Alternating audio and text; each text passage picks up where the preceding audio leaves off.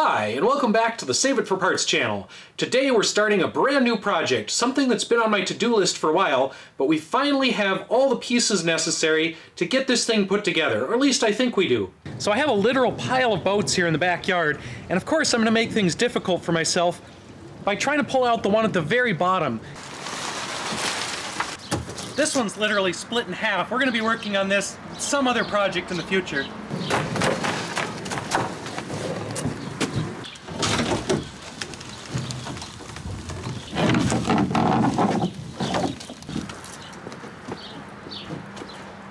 So this thing is an AMF Force 5 sailboat. I got it for free on Craigslist. We've tried to sell it for $20, nobody took it. We tried giving it away, nobody took it. We tried leaving it out by the trash cans with a free sign. Some people tried to take it but couldn't figure out how to get it onto their car, so it refuses to leave the property. Now I don't have a mast, sails, or rigging for that Force 5 hull, but we do have this old electric trolling motor. I think this thing cost me about $8 at an auction. And I have some pretty large solar panels, which a viewer traded to me in exchange for that Apollo 100 DNA sequencer that I got in another video. I never figured out what to do with that thing, so I turned it into solar panels.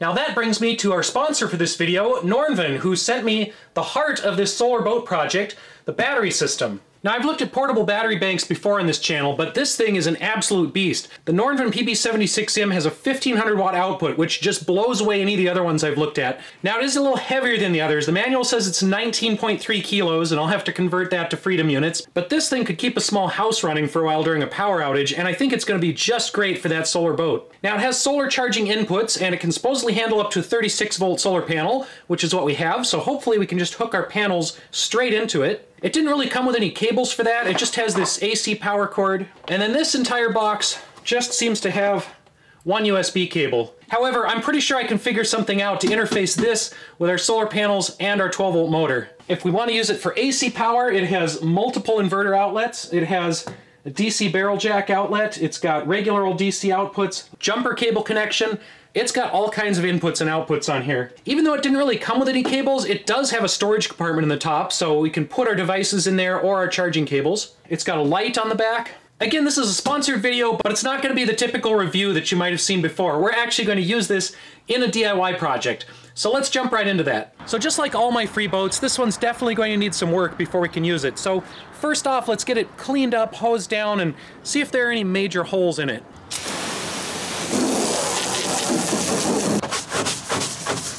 We've definitely got some scratches and dings on this hull. That's probably the worst hole. And there's some uh, structural marine grade packing tape sealing up some other holes. Pretty good scrape right here. I'm using this two-part epoxy stuff to fill all the holes and cracks in the fiberglass.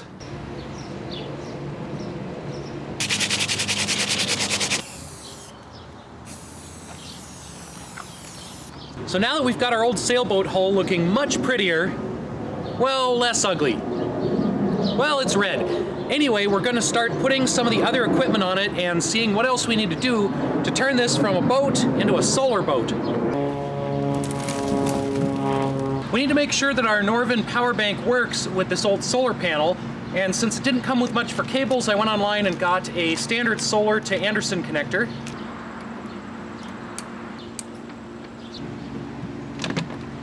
All right, it's a little bit hard to see the screen out here in the sun, but the Nornvin power bank is getting about 200 watts in from the solar panel, and that's before I've even cleaned the solar panel very well, so it's still a little bit dirty.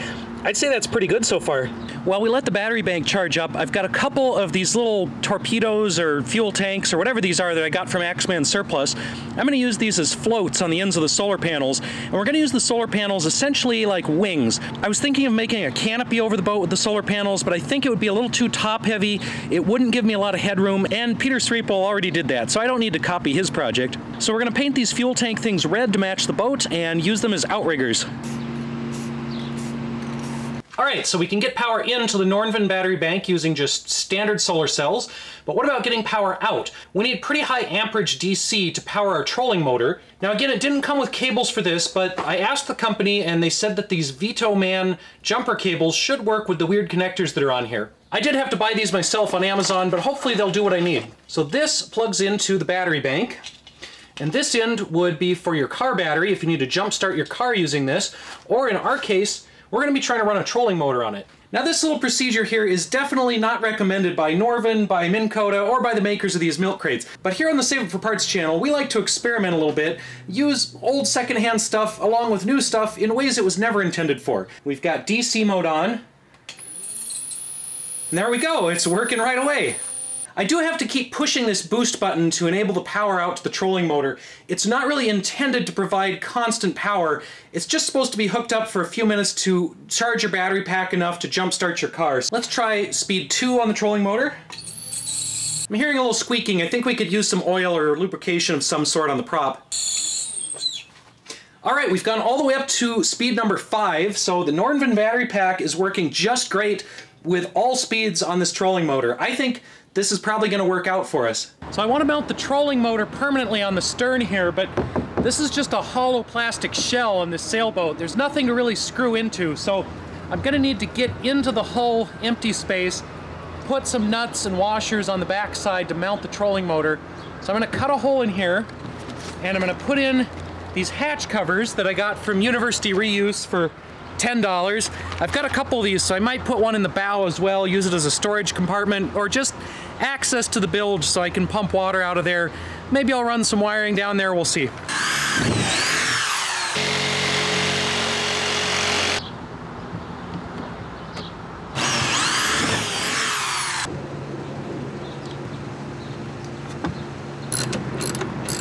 Since I can't put one of those access hatches in every part of the boat, and I need to secure some stuff to the sides here, namely those solar panels, gonna have to use these drywall anchors.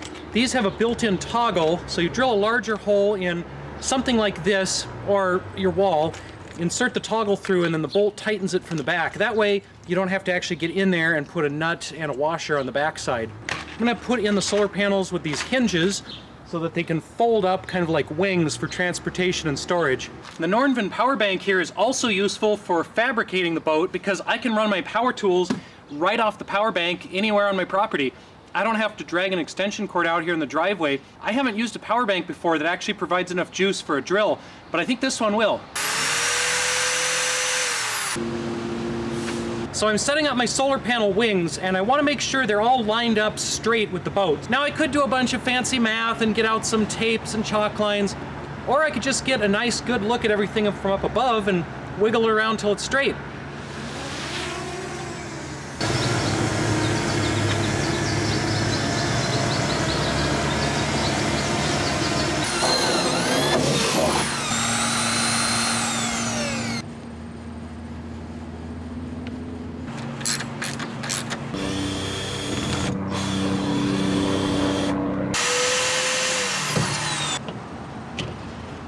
All right, so we are very close to finished with the solar boat. We have pretty much everything assembled. We have our solar panel wings, our outrigger floats, our motor, our control station. I wanted to put the control station farther up as a foot pedal, but this is the farthest it'll reach with those cables. So it'll probably have to be a hand station, and I'm just gonna sit there. Um, the weather is getting a little more interesting here, so we've had to wrap this up. We've had kind of limited opportunity to work on the thing, and it definitely won't fit in the garage like this, so we're getting it done as quick as we can. I do want to put a seat in there, and I want to do one or two other things, but other than that, I think it's ready for a test run. So I'm trying to get loaded up and take this out for a test, but I'm running into some issues with the size of the boat relative to the size of the trailer and the position of the car. Looks like um, we'll have to shut the car first and then load the trailer. Well, we've got this thing all trussed up on the trailer with every ratchet strap I've got, so I'm really hoping that holds together. We've got our solar wings braced, we've got everything ratcheted down to the hull, we've got it ratcheted onto the trailer, so I think we can make it to the lake without anything breaking.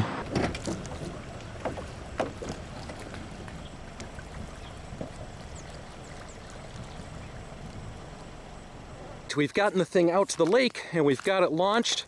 We almost didn't make it here with all the nice Minnesota potholes trying to bounce everything apart. So I did have to do some emergency zip tying again. It's not really a very trailerable boat, unfortunately, or at least not on Minnesota roads. They're just too rough for it.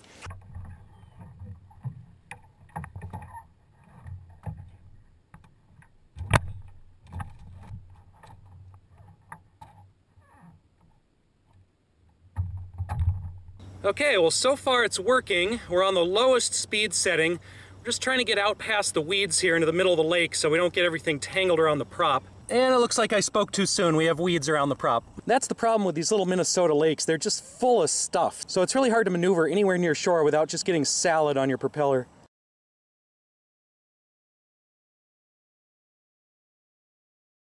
Okay, we are out away from the worst of the salad, and the boat is working pretty well.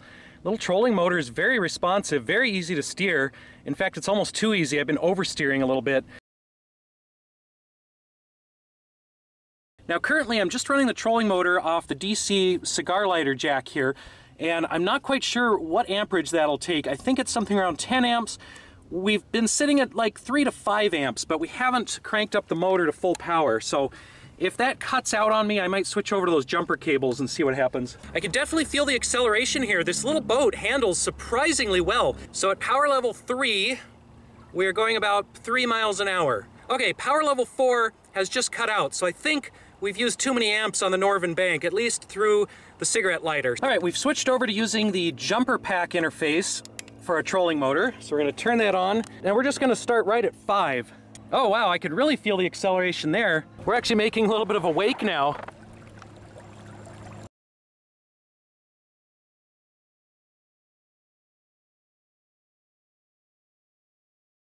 Oh, I'm starting to spin out here. It is, the steering really is fiddly. If I just nudge the little pedal, the boat starts spinning.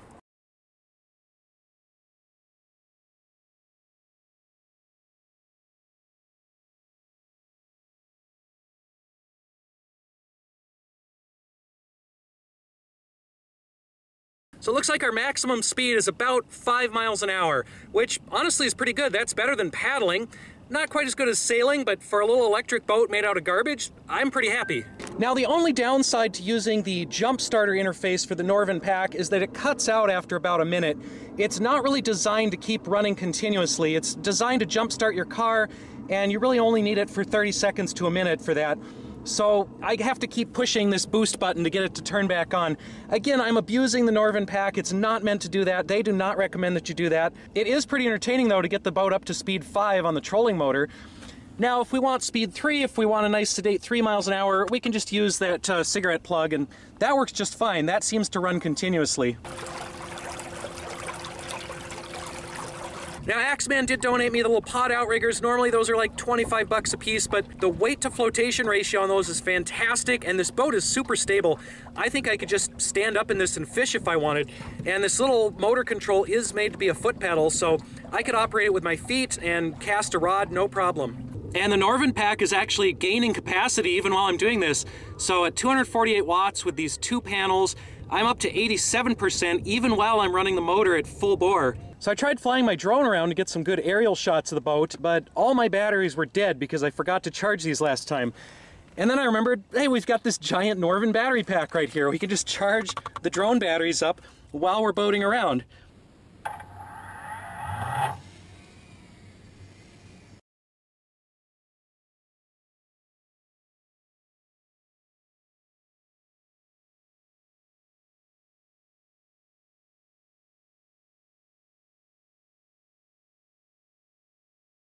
So this thing is already working great as a little electric aircraft carrier.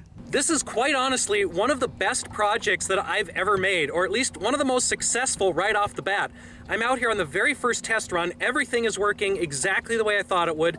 The boat is working great. The Nornvin battery pack is working great.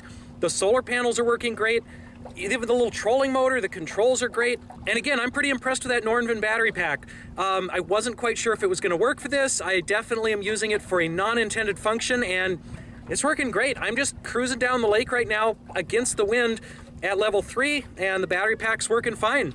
Currently we're running the motor and we're charging the drone battery and we just jumped up to 90%. So we are still making power from those solar panels even with all this output. So I think we're gonna wrap up the video here with an outstanding success from this boat project. Great success from the Nornvin battery pack. Thank you again to Nornvin for sponsoring this video. For giving me this gigantic battery pack that is capable of running a trolling motor on an electric boat while getting power from random free solar panels I got. The Nornvin pack definitely doesn't have all the features that some other battery packs do, but it makes up for it in sheer power and capacity. I'll throw the links to the Nornvin battery pack down below if anyone wants to check them out. Usually with one of these DIY projects, I say to tune in for part two when we have it more successful, but I don't know if there's really much to improve on this boat. Thanks for watching. Tune in to see if we do anything else with this boat or other projects in the future, and we'll see you next time.